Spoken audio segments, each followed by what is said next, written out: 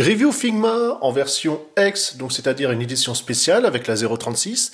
Giver 2 en version femme, donc c'est la couleur film, c'est pour ça qu'elle est violette et non pas tirée vers le rose, qui est également disponible en Figma, on va dire sortie classique, hein, que vous pouvez trouver on va dire, un peu plus facilement et un peu moins cher.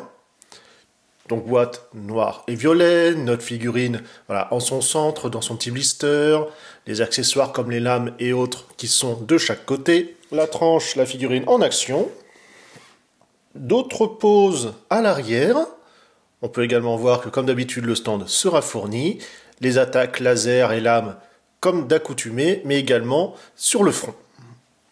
Comme d'habitude pour le fond, vous avez de quoi découper pour agrémenter votre DI Stage directement. On retrouve la figurine comme je vous l'indiquais, le stand en bas, la pochette, bien sûr pour ranger tous vos accessoires, une notice. Concernant celle-ci, en noir et blanc, c'est juste pour vous indiquer ce qui est contenu dans la boîte, comment placer les accessoires, la petite ou la grande lame, le sachet de rangement avec de quoi indiquer le nom pour savoir à quelle figurine ça appartient, le stand, le bras, on est habitué, les mains supplémentaires, ouvertes, fermées, etc. De quoi tenir quelque chose.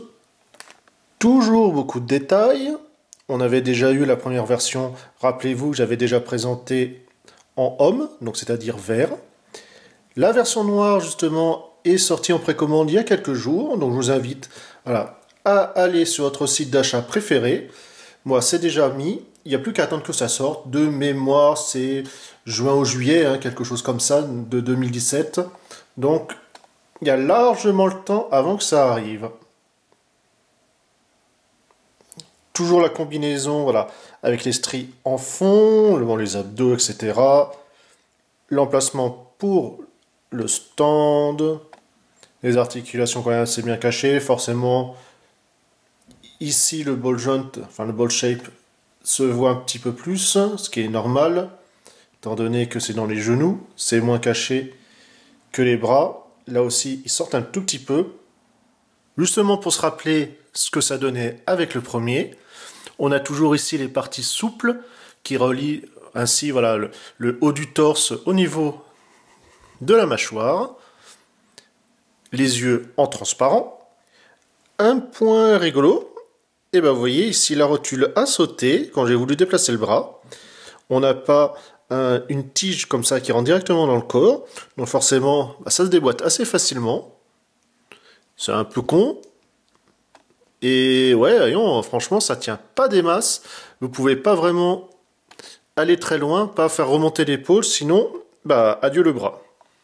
Alors que le Giver homme, c'est exactement le même principe, mais lui, ça tient. Les articulations, c'est une Figma, la tête ici, bien faire attention parce que ici, la pointe Bon, même si c'est un petit peu souple, ça peut être embêtant. Donc voilà, avec là, comme je vous disais, les liens qui se déforment. Le ball joint, enfin la rotule là-haut qui se déboîte, malheureusement pour la mienne. Ici, ça tient nettement mieux. Vous avez l'épaulette qui bouge, qui permet comme ça de pas trop gêner. Rotation ici. Ouais, foutu épaule. Le coude, encore là, rotule. On a ici. Là, malheureusement, c'est fixe. On, va, on a vraiment que le torse qui, qui va bouger. Voilà, habituel. On retrouve la rotule cette fois-ci bien écrasée, qui permet comme ça d'un petit peu mieux passer, même si c'est toujours un petit peu disgracieux derrière. Nouvelle rotule ici, et la pointe pour l'articulation du pied. Quand on reprend la version homme, lui, par contre, on avait et le haut et au niveau du bassin où ça bougeait. Alors certes, c'est plus esthétique, mais par contre, moins de mouvement. Et c'est un petit peu aussi pour ça qu'on prend les figurines Figma, c'est pour pouvoir poser comme on veut. Pour faire la beam attack, donc vous pouvez enlever un côté pour placer l'autre. Donc ça tient, comme vous voyez ici, et par le petit picot qui est là. Donc c'est pas plus mal. Alors oui, ça vous oblige à changer, entre guillemets, mais c'est beaucoup mieux dessiné, beaucoup plus propre. c'est nettement mieux puisque là, même si effectivement on a le système d'ouverture, qui est vraiment sympathique hein, de l'avoir, par contre, on voit forcément l'articulation, on va dire l'aspect esthétique un peu moins joli et le placement peut-être un peu plus embêtant.